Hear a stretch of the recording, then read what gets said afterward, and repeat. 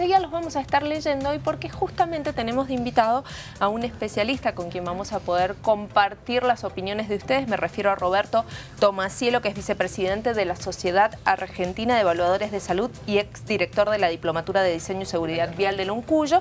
Y también está Karina Quevedo, que es de la organización Estrellas Amarillas. Gracias a los dos por estar. ¿Cómo están?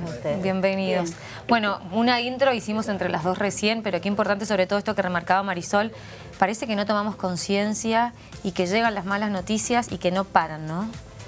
Y ciertamente nosotros como familiares de víctimas, em, desde nuestro punto de vista, eh, falta una presencia de una campaña este, coordinada entre el, Estado provincial y el Estado municipal. Desde em, el endurecimiento de pena, donde el Estado provincial le em, compartió las obligaciones con los municipios. En esto incluía que los municipios tuvieran sus propios juzgados y pudieran manejar algunas partes eh, de las multas de tránsito. Eh, están totalmente descoordinados. Cada municipio hace lo que puede. Eh, en la provincia no hay un control que esté coordinado, masivo y que esté bien ejecutado. Hablaban recién del Día de la Niñez, eh, me, causó gracia porque mi nieta dice, ¿cuándo va a ser el Día de la Niña? Porque dicen el Día del Niño. Nosotros desde Campaña Estrellas Amarillas hemos estado toda la semana eh, pasando eh, algunos tips para que los ciudadanos de Mendoza tengan en esa proyección que han preparado para disfrutar el Día de la, Niñez este, el cuidado, la precaución, porque va a estar todas nuestras calles van a estar con niños en bicicleta, en monopatín. Eh, los Si tenés que ir a trabajar, proyectate con ir con antelación.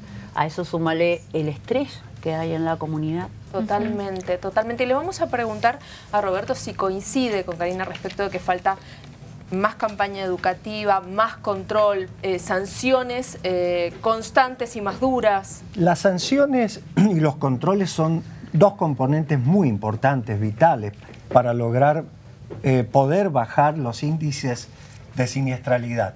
Pero nosotros desde la Sociedad Argentina de Evaluadores de Salud siempre ponemos el énfasis en la prevención. Trabajar desde la prevención en campañas de educación vial. Y en esto es muy importante hacerlo desde los chicos que comienzan a formarse en la escuela. Hoy en día ya gracias a Dios en las escuelas hay educación vial. En eso se ha avanzado bastante.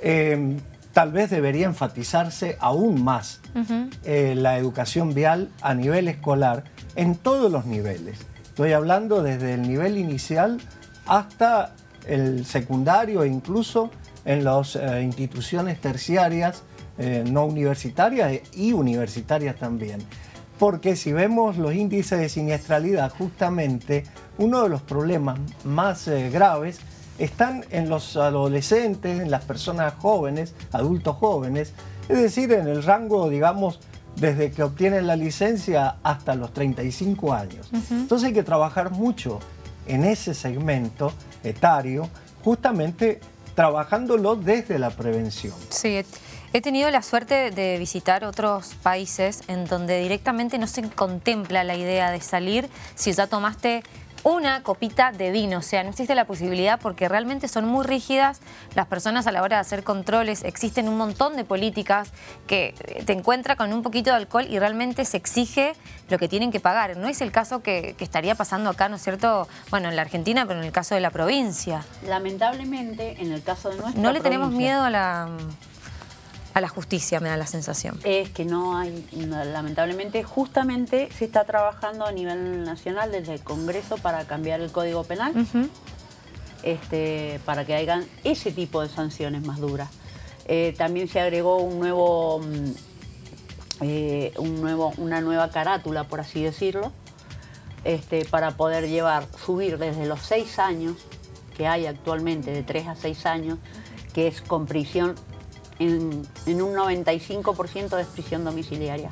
No es prisión efectiva, o sea que no hay una responsabilidad ni una obligación ante tus acciones. eh, lo que decía, eh, tenemos lamentablemente en nuestra provincia, eh, se está tratando a nivel nacional, ya hay muchas provincias la tolerancia cero. Al Sobre eso les quería preguntar, agarrándome un poquito de lo que planteaba Daniela en otros países, ¿creen que es necesario que se establezca la ley de tolerancia cero alcohol al volante? Totalmente. Yo en particular no estoy tan convencido de la tolerancia cero. Yo creo que se puede tener un pequeño consumo. Es más, en algunos casos es muy difícil, medirlo. controlar. El, tema del alcohol cero. Eh, incluso en algunas personas puede dar a veces hasta una medida eh, sin haber consumido nada de alcohol. Bueno, pero el 0,5, ¿no? Es difícil también de controlar para el ser humano. Sí. ¿Cómo sabemos? Es una puerta abierta. claro, hay algunas aproximaciones. Uno tiene ciertas ideas porque también depende de cómo la persona asimila ese alcohol y cuánto tiempo tarda en poder eliminarlo. O sea que no es tan absoluto. Pero hay ciertas aproximaciones que uno puede tener de cuánto alcohol tiene un vaso de vino o un vaso de cerveza. Para la persona, claro. Claro, con lo cual uno puede saber si ha consumido cerca del 0,5 o se ha pasado. Claro, pero es, como una cadena, ¿no? Porque eh, estamos hablando del alcohol, de la venta de alcohol, de la venta de alcohol a menores. Entonces, si desde distintos sectores empiezan a poner otras pautas y otras políticas, podemos llegar, no, no sé si a la tolerancia cero, pero a entender y a saber que hay alguien que se encarga de decir, no, esto no se puede hacer, pero realmente no se puede hacer. Lo importante es tomar conciencia también de que si uno ha bebido alcohol en una cantidad que puede superar el 0,5, no debe conducir. Entonces, ahí también hay hábitos. Lo que pasa es que cuando la persona no está alcoholizada, no sé si llega a, razonar eso. Ahí está formar hábitos saludables que diga a la persona, bueno, si he tomado alcohol, tengo un conductor de 5. Marina dice no, tolerancia cero. Eh, lamentablemente porque estamos atravesando una situación muy crítica en la provincia de Mendoza. Vamos contra una cultura generalizada. No vamos, vamos contra eh, eh, la industria vitivinícola que no afecta a la tolerancia cero, porque eh, los conductores alcoholizados en un boliche toman bebida blanca, toman ron, whisky, no quiero Te dicen, no es vino lo que toman los jóvenes que en la mayoría de los casos En el caso de los vinos, la responsabilidad debería ser compartida con la industria vitivinícola porque son quienes de pronto hacen un, a ver, un turismo por una bodega y te hacen probar cuatro o cinco vinos. Y vos salís a conducir. Y has tomado cuatro poquitos de distintos vinos. Y salís a conducir. No hay un conductor asignado en la puerta.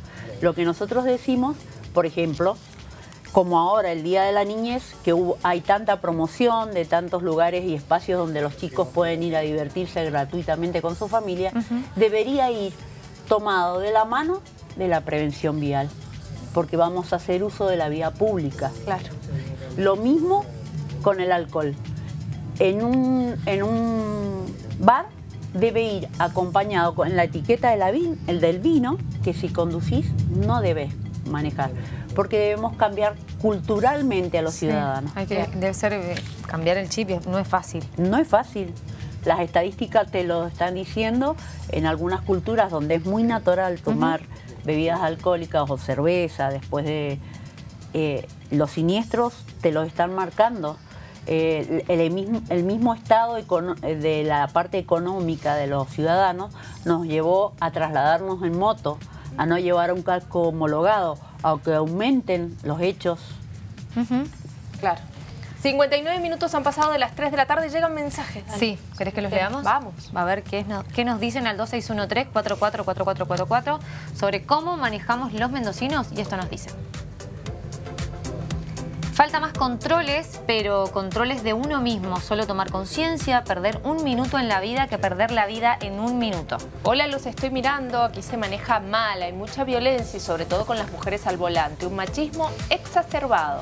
Hola chicas, muy mal manejamos. Paso todos los días por el nudo. Uy, es tremendo el nudo vial y estoy pensando en vender mi auto y no manejar más. Estoy cansada de la imprudencia, me da miedo. Tendría que haber más controles, tolerancia cero al alcohol. Estuve en Salta y no podés tener alcohol en la sangre cuando manejas. Te quitan el vehículo si das positivo. Hola chicas, la verdad que mucha distracción con el celular, de, al semáforo en rojo y qué hacen, es verdad, vemos que tienen los celulares ahí en la mano, bueno, hago mi culpa porque yo también lo hago.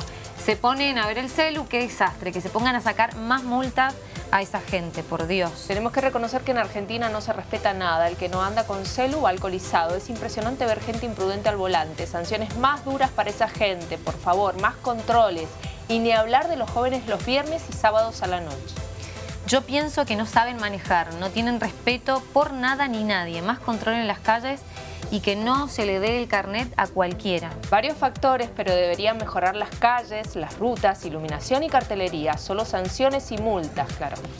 de ambas partes hay que lograr mejoras. Está comprobado que todos los accidentes eh, son por falta de precaución e intolerancia. No solo el alcohol, la violencia que hay en la gente, sobre todo hombres contra mujeres al volante. Buenas tardes, manejamos mal, las estadísticas no mienten, además calles en mal estado, semáforos mal coordinados, sin infraestructura gubernamental. Entonces no es solo falta de control de alcoholemia, hay gente que maneja dopada, dormida, distraída, en fin. Buenas tardes, pienso como dice la periodista, pero aparte de no tener justicia, ya no conocemos la palabra respeto. Hola chicas, yo perdí a mi hija en un accidente porque el chofer iba ebrio y como se confesó culpable, la justicia lo ve de manera inocente. Mi hija ya no está y el asesino está libre de culpa y cargo. Ojalá Dios haga justicia.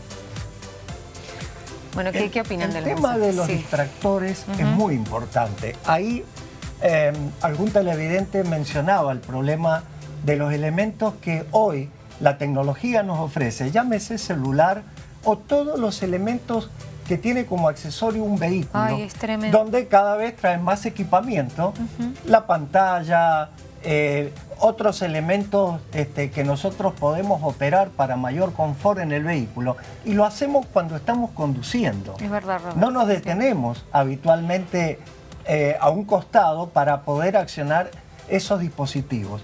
Entonces, me, sumo ahí un detalle y lo dejo seguir. Incluso los distractores que nos colocan en las, en las mismas vías por donde circulamos. Digo, venís por la costanera y tenés cartelito que eh, ceda el paso, respete el semáforo. Digo, si mirás el cartelito muy atentamente, te distraes del camino. Las señales en demasía, cuando ya implican una eh, reiteración muy importante, también se termina convirtiendo en un distractor. Las señales tienen que estar en una cantidad que sean justamente para percibirlas y saber a, qué atenerme cuando estoy transitando.